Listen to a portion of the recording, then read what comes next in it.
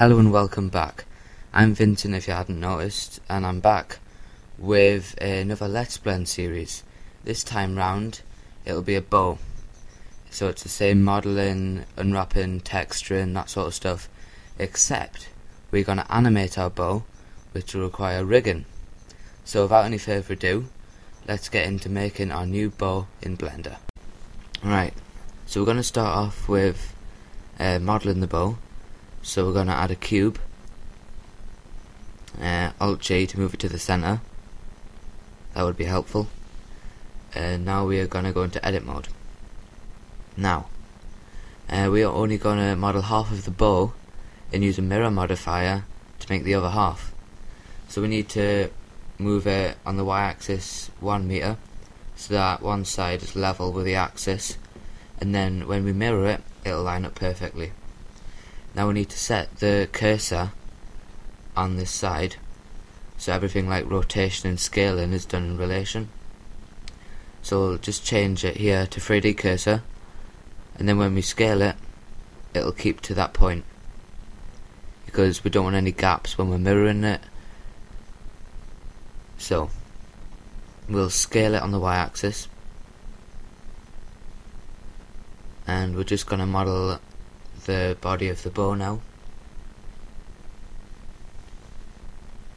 we'll be extruding rotating and scaling extruding rotating and scaling to get a nice curve. we need to take it off 3D cursor because it, it's, uh, it's now just independent. Rotate, just move a tiny bit to get a nice curve.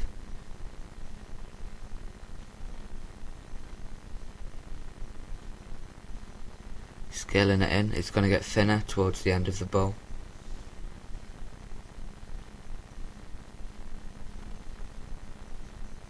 And by the way, when you extrude a face, it will um, it'll be set to the normal line, so you won't actually have to define uh, y, x, or z. Uh,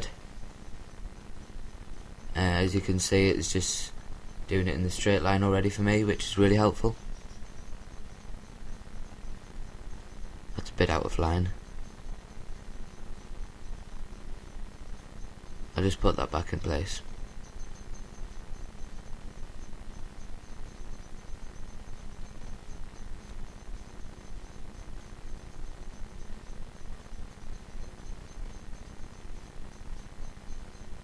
And we'll continue. Extruding, moving it along a tiny bit, scaling and rotating.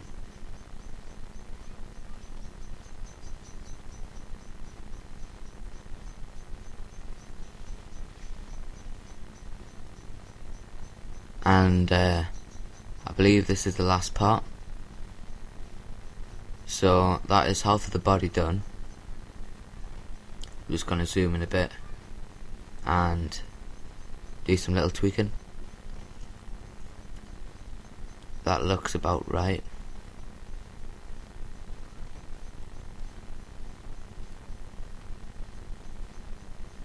Okay, so now we are gonna smooth the mesh so it looks um, doesn't look with like it's got hard edges. It just look nice and smooth. Actually makes it look much higher poly, which is what we need for a game to save on performance. And so you go into modifiers tab and we're going to hit mirror. Now it's mirrored it but on the wrong axis. It's done it on the X, we want on the Y. Perfect. And just apply it. If you don't apply it, it'll just be a visual.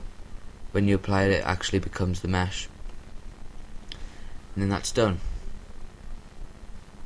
Okay. Now, what is a bow without a string? You can't really shoot someone if there's no string there. Uh, and it also needs a grip. I think we'll make a nice level grip. So that that's going to be easy. Just add a cube, scale it down. Uh, leave it just off the surface so you don't get um, any mixing between the meshes. If they're on the exact same place, not only will there be no point because the handle's meant to be have a thickness to it, but the faces will mix together. You'll get really horrible uh, glitches with the graphics, and we also need to smooth it.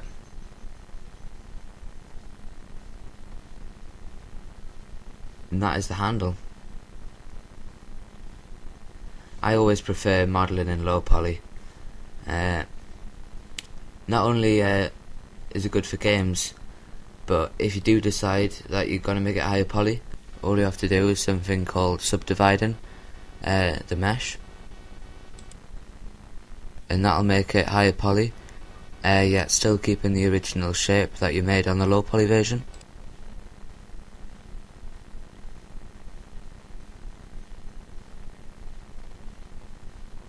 And this is the string. This is a uh, stretched out cube.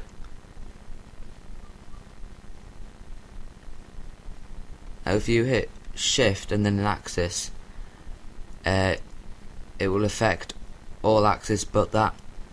So so I hit shift Y there because we want to make it thinner but not shorter. So we don't want it to affect the Y axis. So just hitting shift Y is an easy way to accomplish that than doing X and Z separately. Move it into position.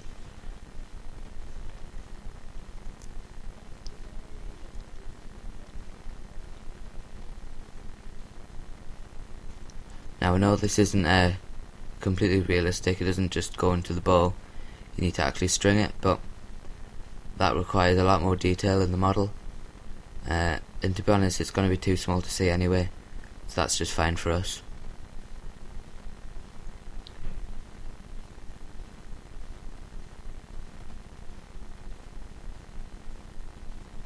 And now we need to add the part on the string where you hold it and then you notch the arrow on that part.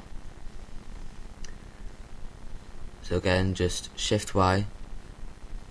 Uh, we can scale it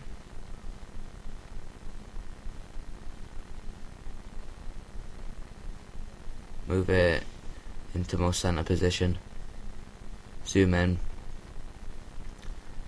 and perfect.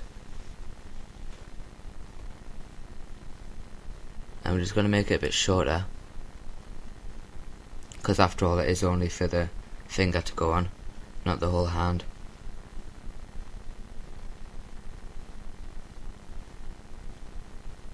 Okay, so uh, this has been part one of um, Let's Blend a Bow. We've modelled it so far. Um, so it, it's, it is uh, looking pretty nice. Next episode we will be rigging it, which means applying bones so we can animate it. Uh, make sure you like and subscribe, and stay tuned for the next episode of Let's Blend a Bow.